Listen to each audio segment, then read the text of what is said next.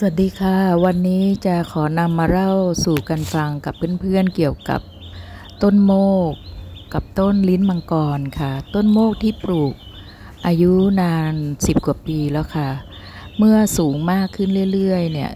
ช่วงโคนต้นเนี่ยจะเกิดช่องว่างอะค่ะเพราะเพาะจะไปแตกพุ่มใบอยู่ด้านบนบนเลยนำต้นลิ้นมังกรประมาณแค่สามต้นนน่าจะสามต้นไม่เกินสามต้นเนี่ยค่ะ มาแซม มาแซมปลูกตรงต้นที่มีช่องว่างมากที่สุด หลังจากนั้นเง่าของลิ้นมังกรเนี่ยค่ะก็จะแทงใบขึ้นมา ขยายออกไปเรื่อยๆ ตามแนว คันกั้นหินที่เราปูวางไว้นะคะ ที่วางตั้งไว้แบบ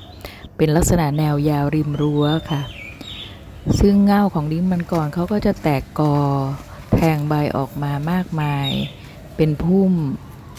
ขยายออกไปเรื่อยๆ ค่ะ ซึ่งดอกของเขาเนี่ยออกบ่อยมากค่ะ มีกลิ่นหอม สีขาว เมื่อลิ้นมังกรอยู่ใต้โคน